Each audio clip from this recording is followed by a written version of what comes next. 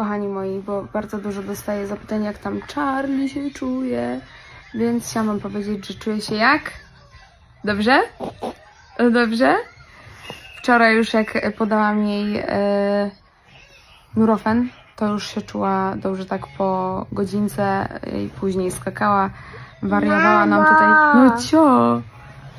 I dzisiaj już z samego rana też dokazywała, także wszystko dobrze. To jakaś taka jednodniówka.